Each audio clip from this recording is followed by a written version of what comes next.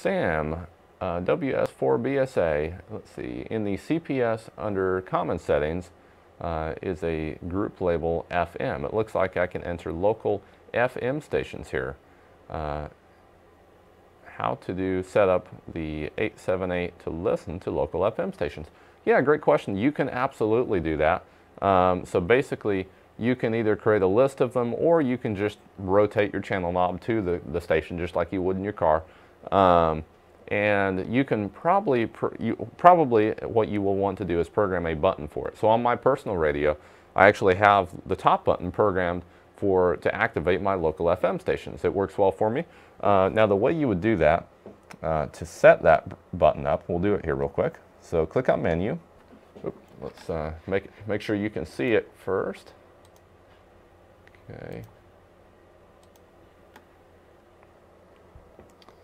There we go. Okay, perfect. So go ahead and click on menu. We're going to scroll down to settings and radio set and key function. Then in here, let's see, I believe that is PF3. We'll find out. Then you're going to scroll down till we find our FM radio.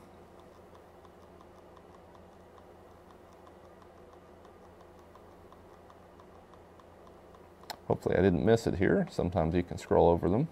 Let's see, Vox. And you can, there we go, FM radio. So number 12 on the list. Just like that. There we go, PF3 should now activate it. So if we press this button, FM radio on, and now uh, you're actually able to rotate your knob up here and change through your different stations. So if I wanted to go to a local station here, I can just rotate this.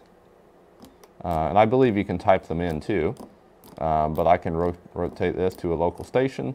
Uh, I know there's a, a, local station here, 101.1, so we could rotate this down there and it will be able to play that.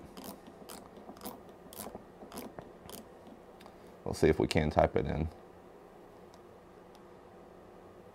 There you go, and then hit the pound key, perfect. You, you can type them in too, so at that point it would be able to, to play that, that music on the station or, or whatever that station is broadcasting.